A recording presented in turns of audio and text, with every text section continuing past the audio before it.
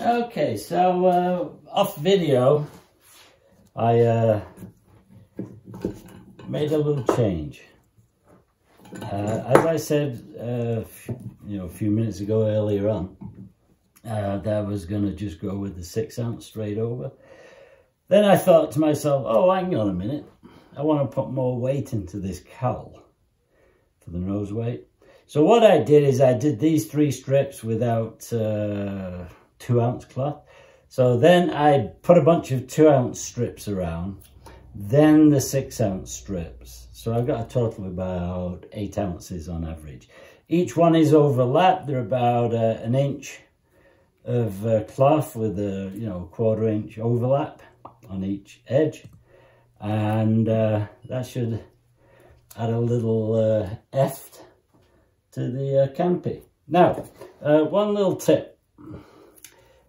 When you're using these brushes, always just trim the edge, the ends off, so it's nice and square like that. Otherwise, you've got little hooks on the ends, which can then pull the cloth out when you're uh, using it. That's something I learned a long time ago. Second tip is when you're coming to your parting plane, which is here, always make sure you wet out the cloth, like you can see here, at least a good, you know, eighth of an inch, quarter inch, whatever, past the parting plane. So that when this is green, which will be this afternoon, I can just come along with a, a, a knife and trim it very easy. If I didn't have resin all the way up, the cloth would tear and you wouldn't get a good uh, edge. This way, it will give you a really good edge. All right, time to uh, pop out the uh, cowl. So uh, sometimes uh, they pop right out like a bullet. Sometimes they just gently pop out. So let's see what the hell we can do with this. I'm set to 80 PSI. Try and push onto it. This is getting a little hard now. I really need to get a new one. There we go. Gently Bentley. There we go. Everything's looking pretty good. Just a bunch of PVA on, as you can see, the green stuff there. So now she just needs to be uh, cleaned off and washed down with the hot water and soap. So uh, that's what I'll do now. I'll just go wash these parts and uh, we'll go from there. I was hoping that would be one of the pop-out type because that would have made a great sound. All right, so uh, I've washed these off now with some uh, water. You can see it's shiny. Pretty shiny anyhow. Now, the, the uh, one thing about uh, when you're painting is the primer that I used, again, was this uh, Rust-Oleum. It's an automotive primer, so it's a little tougher than the cheap stuff and it's flat. It's a flat grey, but you can see we're all nice and shiny here. So that is because the molds are reasonably shiny. These still need cleaning up and they would be shinier. So that's why you can, you know, you can actually use house paint, believe it or not. Just latex wall paint or acrylic to uh, spray in the mold with a, a spray gun, airbrush, whatever your preference is. And uh, it'll come out nice and shiny. Now, if you want a dull finish, then obviously you're going to have to basically either have a dull looking mold, which isn't a great idea, or you can uh, just put a very light uh, coat of, uh, you know, matte or flat or whatever you want to call it on afterwards. And this plane will be painted, so it'll actually end up with a gloss paint on it. Just from a spray bomb, nothing fancy. Uh, these are the scissors I used to uh, cut the wet cloth while it was being laid up. And to clean them, simply get a flat bladed screw, I mean screwdriver, flat bladed uh, razor blade. I think you call it a razor blade. And, and simply uh, just put it on a 45 degree angle, 40 degree angle, and just clean it up. And then just run it down the uh, the cutting part of the, uh, or the edge of the blade, I guess. And uh, funny enough, doing this actually keeps resharpening the blade. Oh, that's what it seems to be. Either that I've got great scissors, one or the other. And now, that's good enough to uh, cut the cloth with. So I keep these, they last uh, several times. And uh, now we'll uh, look at laying up the actual plane. When you're laying up a mould, the last thing you want is this. Banging around like that. So what I do, uh, I just use uh, old pieces of foam, slide it in, try and make it a little stable, one at the end here, and that's good. Because otherwise you're trying to put the cloth in and everything and the thing's wobbling all over the place you're just gonna have a whole bunch of grief and everybody okay time to uh, lay one half the fuselage up now i've already made some goop up to go in the corners. Uh, if you want to see how i did that just look at part two it's in there of the same uh, build series i've trimmed the edge of my brush so it's nice and square Got a little air there, get that out. And I'm just going to uh, put a light coating of resin just where I'm going to be putting the goop for now. I know it's hard to see uh, with the camera, unfortunately. Um, the shot layout doesn't really uh, allow me to provide a good view but you'll get the gist of it. So now I'm just going to go around all the sharp uh, edges, the sides a little bit. Not putting a whole pile on right now. Uh, the biggest thing is try not to scratch the uh, primer with anything metal like here because uh, that will instantly peel the primer away from from the PVA.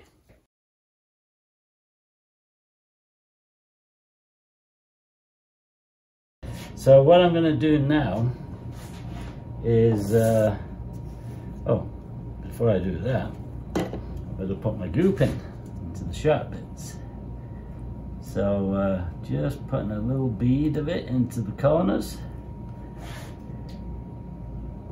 And that way we can avoid voids which in case you don't know what a void is it's where you get like a big air pocket. There and there and that finishes it off. There we go I just can't get in this damn corner. Oh there we go. Okay now time to put some of the six inch in so we'll dry our brush off a little bit.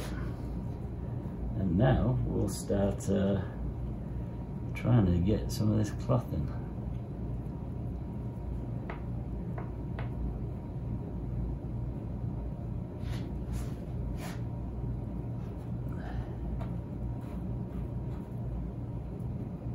Uh, sorry, three quarter ounce cloth I should say. Yeah, this three quarter ounce cloth is really good because it forms beautifully.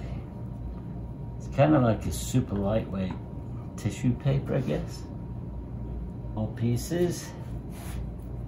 As I said in uh, part two, this video is part three, by the way. As I said in part two, the biggest uh, thing is use small pieces when you're first starting off rather than trying to use big pieces, which are going to cause you all kinds of grief.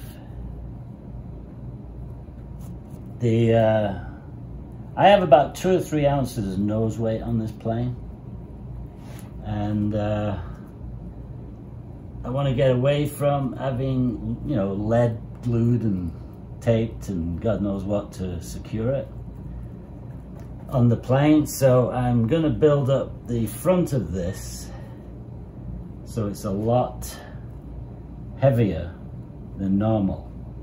because you know weight is weight I need it anyhow to get the balance so it really doesn't matter that I uh, add a bunch of extra weight to the front but I'm going to try and keep the tail end as light as possible. So I don't get tail heavy. I'm just running down this uh, inside root part. Uh, yeah I guess I could use this bigger piece here. So we'll lay this one in just get it going with a bit of resin working it down this should hopefully come up on camera good. Forming it into the corner. Add a little bit of resin now just to get a good grip. Now this is the front of the fuselage here. So uh, I'm going to be probably tripling the six ounce cloth in this area. And that way I get some weight plus a bunch of strength and I don't know why I never thought of that with the other four or five of these that we've laid up.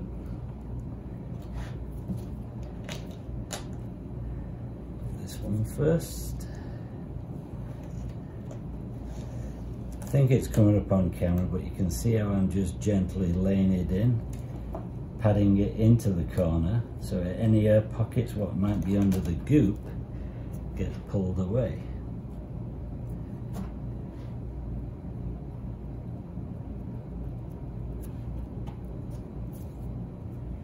and it's from here forward where I'm going to go heavy.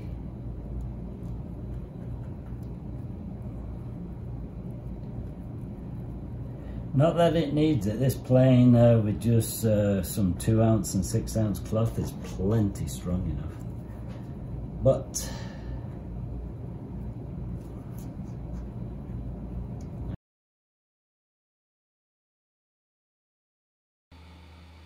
So my microphone battery died. Um, I did switch the audio stuff a few weeks ago and to be honest with you this new one is not very good.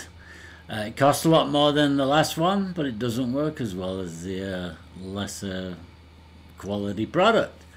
Uh, so anyhow, now I'm applying, uh, let's see, this is the front of the plane so I'm applying, uh, I think it's 4 by 8 pieces of uh, two ounce cloth for the second layer. Um, then I'm going to move to uh, six ounce cloth towards the last, uh, let's see, uh, quarter of the rear plane. Uh, I'm just going to single uh, cover that.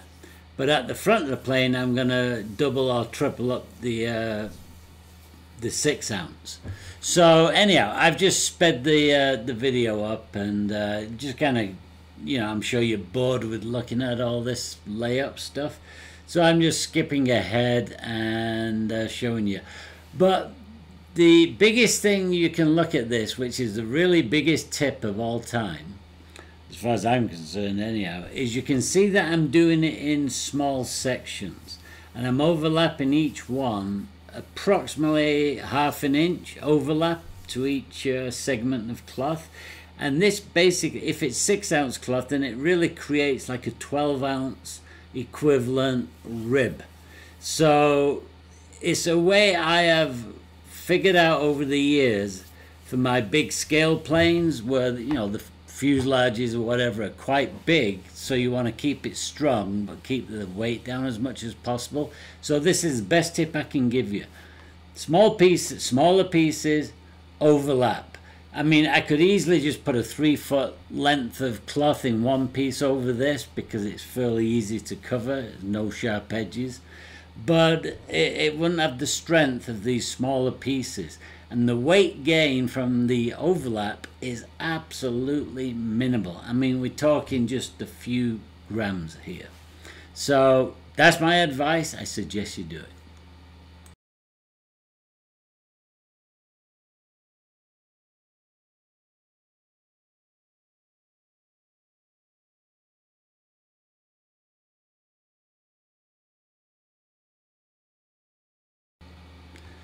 Now this section, even though I've sped it up, you can see how, uh, how the segments are overlapping. So it, this really shows it well. And uh, it's just creating uh, all these little strengthening ribs. And uh, I'll tell you, it really, really does work great. And anyhow, I'm just going to continue uh, down to the end and that will finish uh, pretty much this layup, I believe.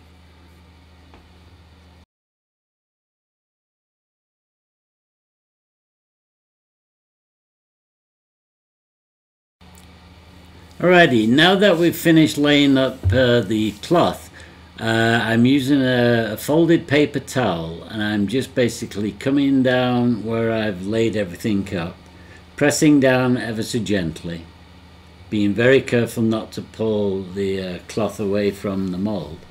And I'm just soaking up any excess resin.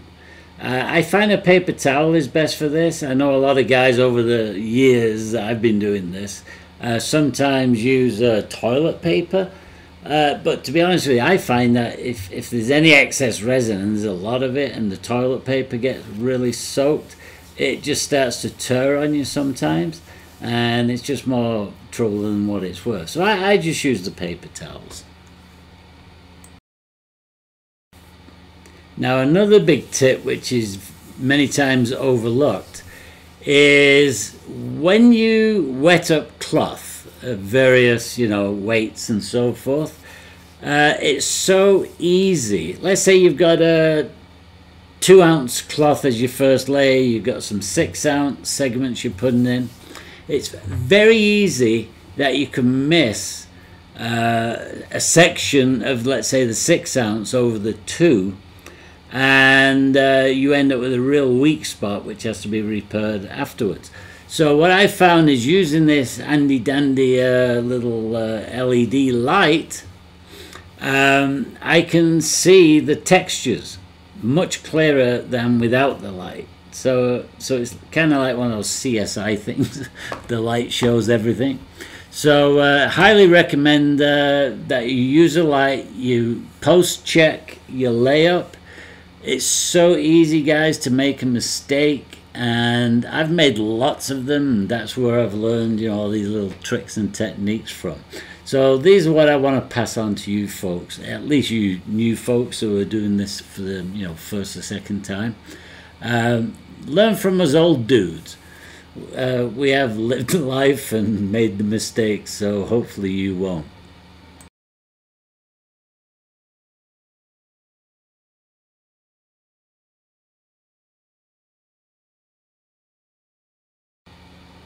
So one last final check, double checking, triple checking, whatever. You only get one shot at this, so you don't want to really uh, blow it. So uh, the mold, I mean the layup looks really good and I'm happy with it.